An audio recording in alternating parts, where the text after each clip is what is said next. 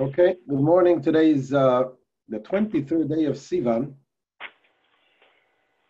And we are still holding in the middle of chapter 7. Chapter 7 is a very long chapter. Today, the shiur will be in memory, Le'ila Nishmas, my father-in-law. Uh, today is his yahrzeit. Hirsch ben Shneur Zalman. He was uh, very instrumental in bringing my wife and myself here as shlichus in Sheepshead Bay. May his neshama have an aliyah, and may we be reunited very soon with the coming of Mashiach. Very soon, Amen. I'm going to mute everyone so so we can have a good cheer. Okay.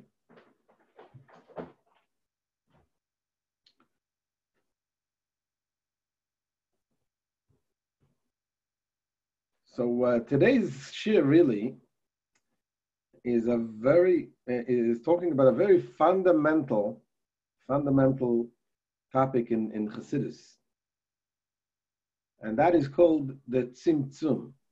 Tzimtzum literally means contraction, and this is based on what the Arizal says. There's in the writing of the Arizal, it says that God contracted his light, so to speak, and he removed this light in order to bring, make place for this world to exist.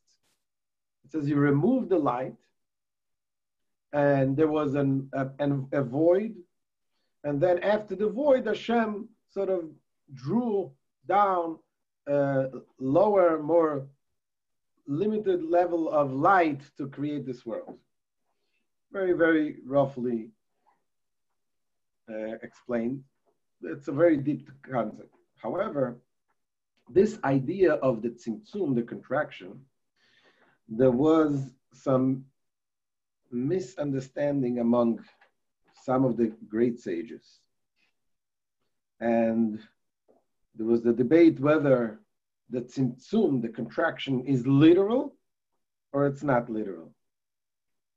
In fact, in the beginning of the Hasidus movement, uh, one one of the things that the people who opposed Hasidus, they uh, they opposed, they questioned what Hasidus says is the fact that the Alter Rebbe says in the Tanya that uh, even when a goy comes and disturbs you in doing the right things, uh, serving Hashem, is Hashem is in him.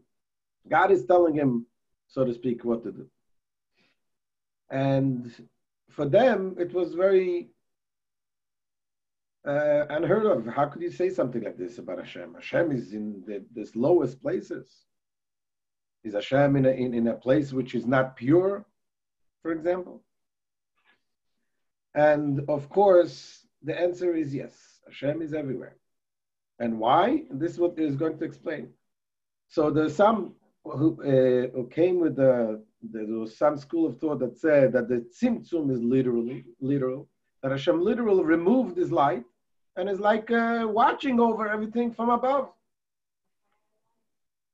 And and what does it mean? He's watching everything from above. Today we can understand. We have satellites. We have everything. You can see. You know, everything is watching from above. And the Rebbe explains here Baal Shem Tov explained, one of the foundations of the Baal Shem Tov teaching is that the Tzimtzum is not kipshuto. Tzimtzum is not literal. You know, there is a there is a uh, uh, another a verse that says, "Alo et hashamayim anim alei." I am filled the heaven and the earth, says Hashem. So, when Hashem says, "I am filled everything," Hashem literally filled everything. So the, the school of thought that says that tzimtzum kipshuto, the literal, the, the tzimtzum, the contraction means literal, they said that this verse is not literal. That when it says Hashem is, is everywhere, is is watching everywhere. And here comes the Alter Rebbe and it says that based on what we explained in this in the, in the beginning of this chapter, and the previous chapters as well, that Hashem Hashem is not like humans. At Hashem, His will is Himself. And when we say as Ani Hashem Lo Shaniti, that nothing can cause change in Hashem, that means nothing can cause change in Hashem. If there is something outside of Hashem, that itself is a change in a person. In Hashem, God forbid. So when we're saying that Hashem is here in this world, Hashem is literally here And in every aspect. Except that the world doesn't affect him. It doesn't affect his oneness, his unity. And this is what a, the Alter Rebbe continues in today's chapter. So let's uh, look inside.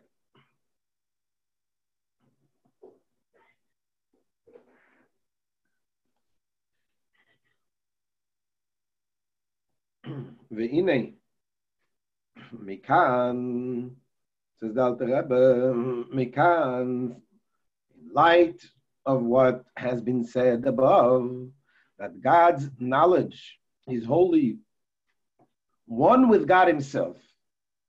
For otherwise, it would imply multiplicity in one who is a perfect unity. Yesh lehovin. יש להבין שיגגס מקצס חכמים בעיניהם השם יכפר באדם. So we can, it is possible to understand the error of certain scholars in their own eyes. May God forgive them. Talk very sharp words uh, about those scholars. For even those who have erred unwittingly are in need of atonement. He says, "Sheshogegu v'tou beyunam bekisvei Arizal vehevinu inyan atzimtzum amuzker shom kipshutei." Who erred and misinterpreted in their study of the writings of the Arizal and understood the doctrine of tzimtzum, which is mentioned therein, literally. And that's what what what is it what does it mean? What did they say? שהקדוש ברוך הוא סילק עצמו ומאוסוי חס ושלום מעולם הזה. That the only one, blessed be he, removed himself and his essence, God forbid, from this world. Meaning that he literally removed his presence rather than merely concealing it. They do believe, obviously, in that Hashem does everything b'ashgacha pratis divine providence. Al kol kulam mimal v'loretz mitachas. And only guides from above with individual providence all the created beings which are in the heavens above and on earth below. That's the way these people, these scholars, interpreted the concept, what the Arizal says, tzimtzum, contraction, they took it literally. So the Alter Rebbe says it's impossible to say so. Why not? Says the Alter Rebbe, "Vehine milvad she'i efshar klal lo yimar inyan tzimtzum kipshuto shehi mimikri aguf ala kadosh baruch hu." Anivdal mehem rivibois avdolas and enkets. First of all, says the Alter Rebbe, it's impossible to say tzimtzum, a contraction about some about Hashem the contraction is a physical condition. Hashem is not physical. So the concept of contraction is impossible to say, is ludicrous. That's the first of all. But the way he says it now, apart from the fact that it is altogether impossible to apply the doctrine of tzimtzum literally, for that would be an instance of corporal phenomena to the only One, blessed be Hashem. You can you cannot subscribe to Hashem this, who is set apart from them by infinite myriads of separations. The difference between us and Hashem is endless separations. So the idea of contraction at all is impossible to, to subscribe to, to divinity, to Hashem. But besides that, says the Alter Rebbe, אף גם זויס לוי בדס ידברו. מאחר שהם מאמינים בני מאמינים שהקדוש ברוך הוא יודע כל יצורים שבו אין המס שהיה שופל ומשגיח עליהם. It says, in this thing itself, they also do not speak wisely. Since they are believers, the sons of believers, that the Holy One, blessed be He, knows all the created beings in the lower world and, and exercises His providence over them. So they all believe that Hashem gives us divine providence and is guiding every single detail of us. Thus, they themselves admit that God's knowledge and providence extends to this physical world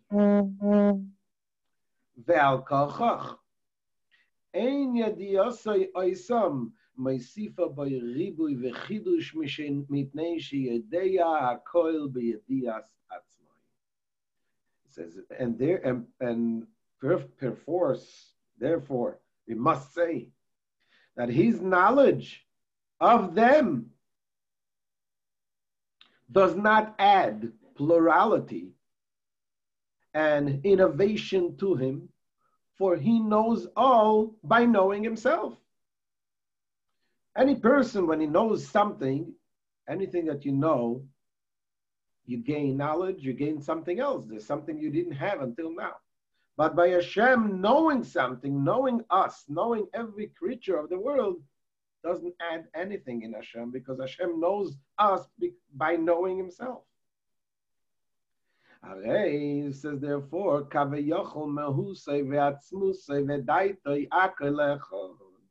Thus, as it were, in his essence and being and his knowledge of created beings are all one. And it brings also what it says in the Zohar, something to support this, this uh, explanation of the Alter Rebbe. It says, "V'zeu shekasuv basikunim, Tikkun Nun Zayin." This is what it says in Tikkunim. This is part of the Zohar and Tikkun Nun Zayin. The leis asar ponu minei loy beiloin v'loy betatoin. Says, and this is what it stated in Tikkunim, Tikkun 57. There is no place devoid of him, neither in the upper worlds nor in the lower worlds says, thus, we find it ex- explicitly stated in the Tikkun that God himself is to be found within the lower world, the lowest of which this physical, uh, uh, the low, lowest of which is this physical world. And then he brings another place in the Zohar, which is a part called Raya Mehemne. It says, Raya Mehemne Parsha Pinchas. It says, Iyu Tofis Bekulo veleis man de tofis bei.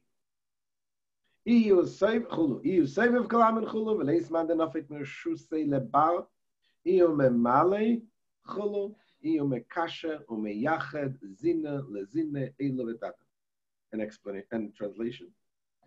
It says, and in, in the portion of the Zohar called Raya Mehemne, on the Parshas Pinchas, we read, he grasps all and none can grasp him. Normally, when a person grasps something, you grasp when a person, you walk into the room, you are now in the room. Now, the room also grasps you. Part of you is, is in the room. Everything in, in, in a physical condition, the, the, the grasping is mutual. But by Hashem, it says the Zohar, he grasps everything, but nothing grasps him. You know, there's the famous uh, question that, uh, philosophical question that people ask Can God create something so heavy that he himself cannot lift up? And of course, understanding this understanding this uh, idea of, of, what Alter Rebbe explains in the Chassidus, in this chapter, we understand that the question is not even a question. We go back to the inside. We got disconnected a second. There we go.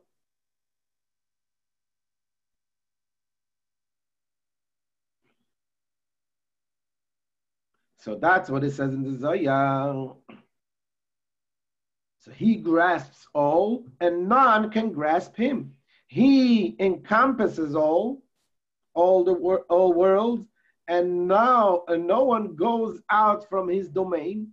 He fills or permeates the all worlds. He binds and unites a kind to its kind, upper with lower.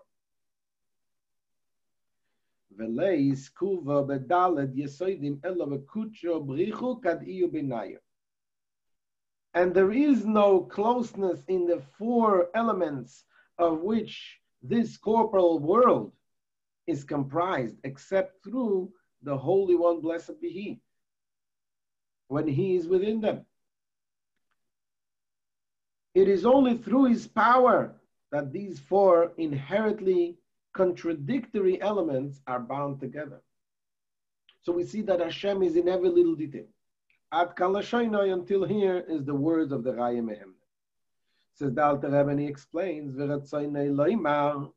leis man defos tafis bei she'en mi she'itfois be'asog asichloi mikol ha'elyonim b'ma'usay v'atzmusay shel HaKadosh Baruch.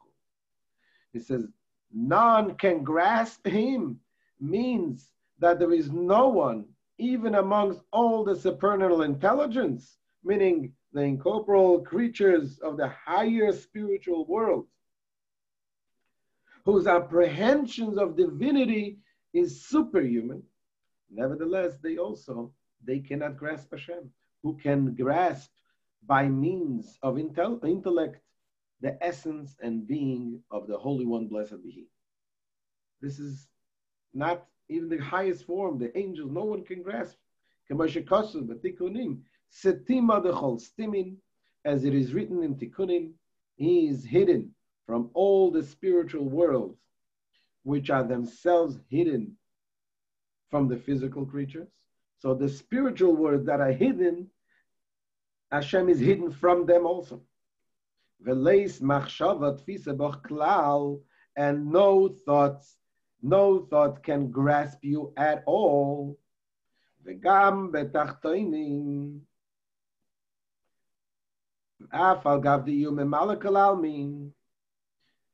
and even in the lower world, there are none of it that grasps him, even though he permeates all worlds and animates them with a life force suited to each individual cre- created being in particular.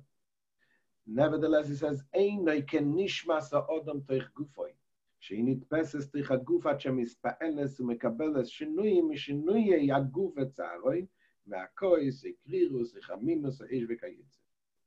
He says you cannot compare the way a, a uh, soul is in the body, the way then the way Hashem is in this world.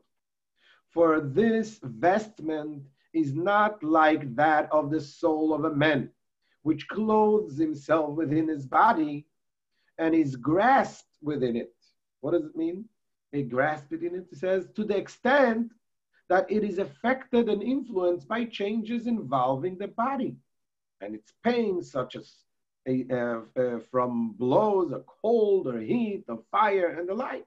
The soul is affected by these changes.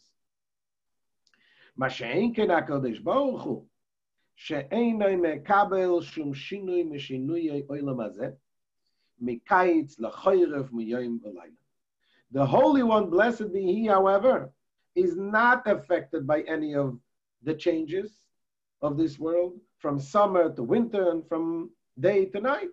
Kedichsiv, as it says in the pasuk in the Torah, Gam choshech lo yachshich mimeko v'laylo kayom yoyom.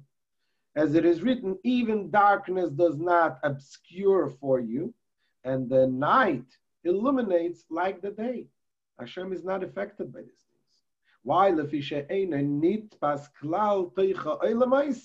afal gavdem embalaloi. For he is not grasped within the worlds at all, even though he is he feels them. He feels them. That's why this is what Rebbe explained that this is the meaning of the the tzimtzum that the tzimtzum, the contraction is not literal, and therefore, we can say that Hashem is everywhere, and but at the same time, is not affected by anything, They say that, that you cannot hide anywhere. So a person doesn't understand this. It says, well, so when you're sitting in the bathroom, is Hashem there also? So in what? In, so in the bathroom, you can maybe in the bathroom you can sin. So the guy answered, no, yeah, but he can pick through the hole. But uh, obviously, this is the idea of Hashem being everywhere and, and not being affected by, by anything explains this concept. And Alter Rebbe is going to continue this uh, the next uh, shiurim as well. And this is the end of today's shiur of the 23rd of Sivan. By the way, the 23rd of Sivan is a very, very powerful day. And it is this is actually a best kept secret because not too many people are aware of that. The Rebbe pointed it out in 1983, uh, I believe it was. The Rebbe pointed out that it says in the Megillah uh, um, Purim, when we read, it says that on this day, the 23rd day of Sivan, Achashverosh, King Achashverosh, ordered to, to, to, write everything what Mordechai uh, decreed and to carry out his decree. And, and in the deeper meaning, what that means, it says in Chassidus that we're talking about King Achashverosh, we're referring to Hashem. Mordechai Yehudi refers to every single Jew. He says that when a Jew decides to act like Mordechai, who was completely given over to Hashem, and this day, today, Chav Gimel Sivan, you make a, a decision, if, even if it's in a small thing, you make a decision, a firm decision, at connecting to Hashem with Mesiras Nefesh, then Hashem carries out your decree. Take advantage of this. Today, Chav Gimel Sivan. Hashem should help. We should have very soon. Should be only good things. And uh, uh, please share. Please share this with other other Yidden. And any questions? Now is the time to ask.